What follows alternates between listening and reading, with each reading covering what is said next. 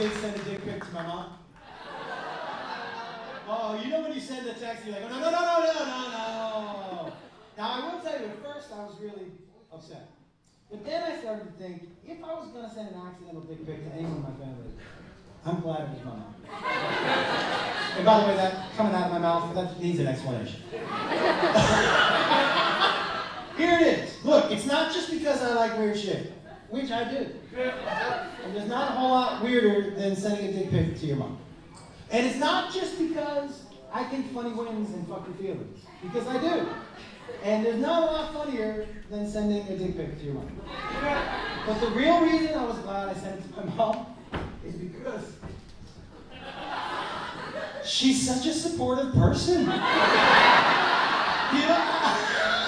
I thought to get back is a text like, that looks great, honey, or something like that. But she ghosted me. No text for like four hours. Know, I almost sent her a text like, are we to talk about my dick or what? and then about the four hour mark, I just got this text from her. It was the worst text I could have gotten. I didn't know at the time it was the worst text, but hindsight, this is the worst text she could have sent. She just sent a text back and said, What is that?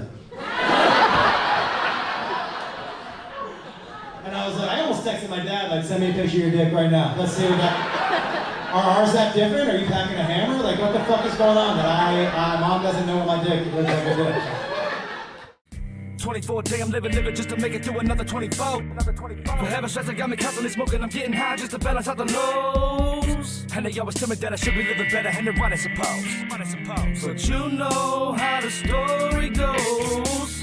Another day, another dollar, holla. 7 p.m. once again, I'm breaking up the bug. 145 or 99, we're crowned.